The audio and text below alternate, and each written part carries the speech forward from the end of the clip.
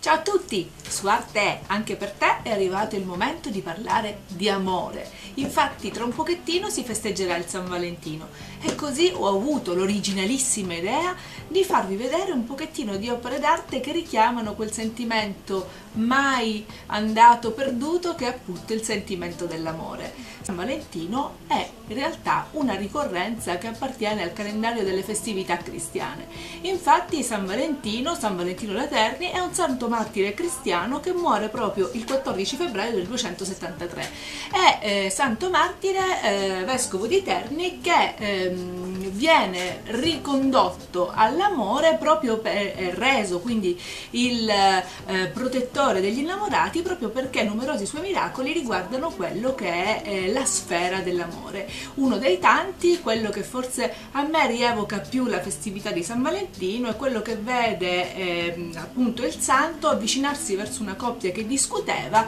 e eh, farli riconciliare semplicemente porgendo loro una rosa, dicendo loro di stringerla insieme e eh, in quel momento il miracolo avviene nel incorniciare appunto questa scena da una serie di piccioni che ehm, si misero a tubare tutto attorno alla coppia che vedendo questa scena così eh, poetica e eh, magica andarono via riconciliati. Proprio da questo episodio si pensa possa nascere nascere anche eh, i piccioncini innamorati. Quindi vedete come quello che eh, la nostra cultura moderna fa diventare come un qualcosa, una festività di estremamente consumistico, in realtà affonda radici ben lontane e affonda radici eh, religiose in qualche maniera che poi comunque possono essere come il Natale ehm,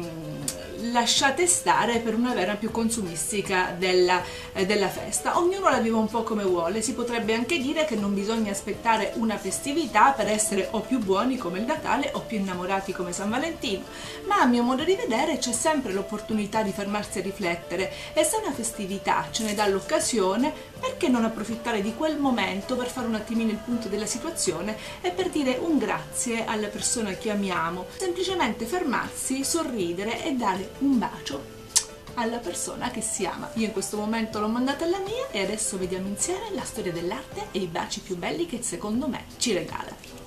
E partiamo la nostra carrellata di baci nell'arte da uno dei miei baci preferiti, quello che ci regala René Magritte con Il bacio degli amanti del 1928. Magritte, surrealista, è eh, un il portatore dell'automatismo psichico puro in cui l'inconscio, quella parte che è presente solamente quando è presente in maniera naturale, così spontanea, solamente quando sogniamo, si eh, rivela anche nel momento della veglia. E qui lui immagina questi due amanti che si baciano divisi da un velo bianco, un velo bianco che impedisce la comunicazione tra i due, ma impedisce anche la comunicazione dei due con lo spettatore. Ehm, questo velo bianco che è ricorrente nelle opere di Magritte si pensa possa derivare da uno shock eh, di età adolescenziale del pittore stesso, il quale vide la madre rinvenuta eh, dal fiume Sambre, morta suicida, con la camicia da notte che le copriva appunto la faccia a mo' di velo bianco. Eh, però il velo è anche un elemento simbolico molto forte che si può distaccare da questo questo eh, episodio è eh, che fa diventare invece simbolicamente un gesto così usato come il bacio, così conosciuto, eh, un qualcosa invece di misterioso, di insolito, di sospeso e nello stesso tempo ehm, interrompe la comunicazione tra due amanti e, e tra gli amanti e lo spettatore e eh, mette sotto quel velo qualunque cosa la nostra coscienza voglia metterci, il nostro la nostra coscienza sopita voglia immaginare. Io trovo questo quadro un quadro mh, veramente di ampia lettura. Ognuno può immaginare sotto quel velo bianco quello che vuole. È un quadro aperto, eh, non si sa cosa c'è sotto quel velo bianco, non si sa chi c'è sotto quel velo bianco.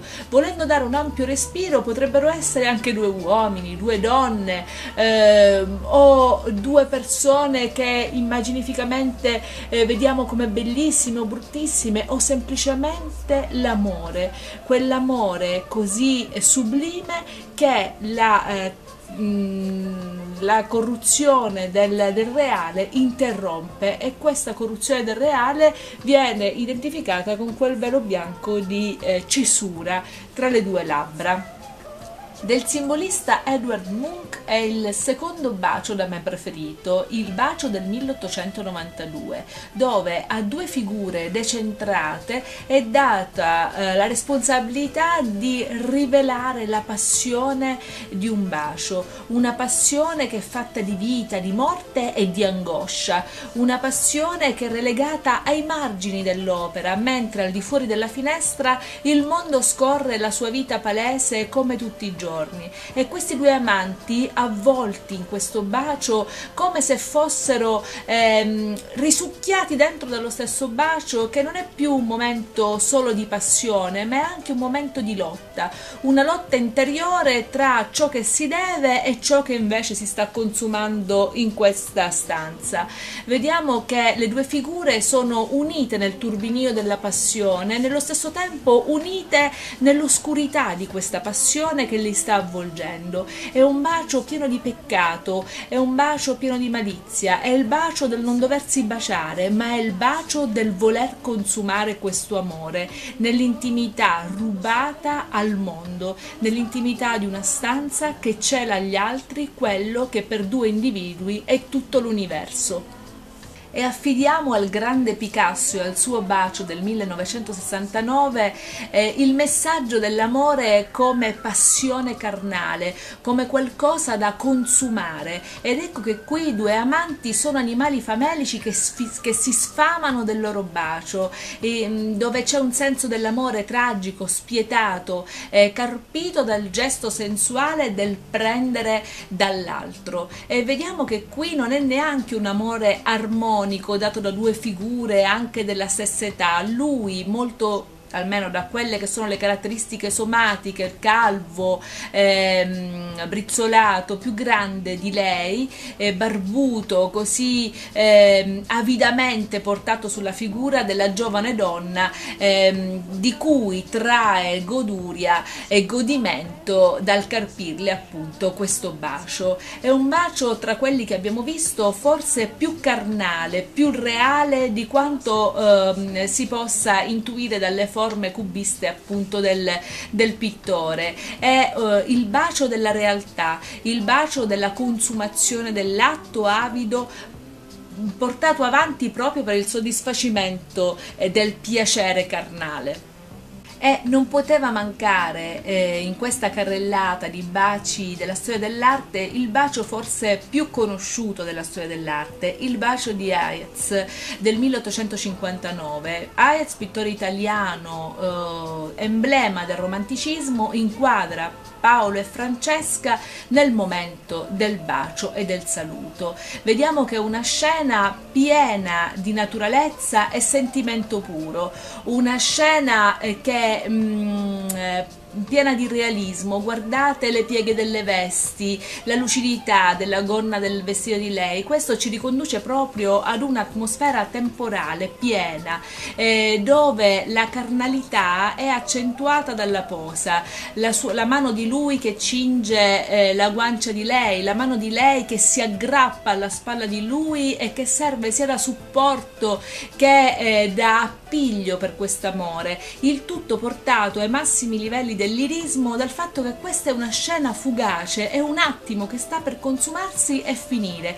ed è dato per esempio anche dalla posa della gamba di lui che già è sul ehm, che poggia il piede sul primo gradino, nell'atto già di appropinquarsi ad un altro luogo. Ehm, ebbene, questo che è da sempre visto come l'emblema dell'amore di Paolo e Francesca, in realtà ehm, vuole, ha un significato simbolico che è assai lontano dall'amore l'amore eh, passionale e l'amore come lo intendiamo noi. In realtà qua si sottintende l'alleanza franco-italica dove il ruolo dell'Italia è eh, dato a Paolo e il ruolo della Francia è data a, a Francesca e, mh, mm, che dopo appunto l'accordo di Plombier viene a prendere visione. Quindi è un um, quadro romanticamente patriottico che suggella con un grande bacio di due amanti eh, un'alleanza assai proficua per questi due paesi. E, ehm, e quindi quello che molto spesso è conosciuto come l'emblema dell'amore poi sottintende un significato assai differente. Ho voluto proprio includere questo quadro proprio per questo, perché molto spesso il significato di quelle che sono le, ehm, le vere direttrici dell'arte vengono ad essere eh, sconosciute, mentre se ne evince soltanto quello che è il messaggio primario che viene fuori dall'immagine, che comunque è di qualità e di lirismo altissimo. Non potevamo finire questa carrellata di baci ignorando il bacio dell'austriaco Gustav Klimt, dipinto nel 1907-1908. Il bacio eh, che insieme a quello di Aetz rappresenta l'immaginifico artistico eh, della maggior parte della popolazione. Eh, vediamo che questo è un bacio che mh, racchiude in sé un eh, insieme di significati simbolici storici. Innanzitutto appartiene come periodo artistico a quello del Liberty, ma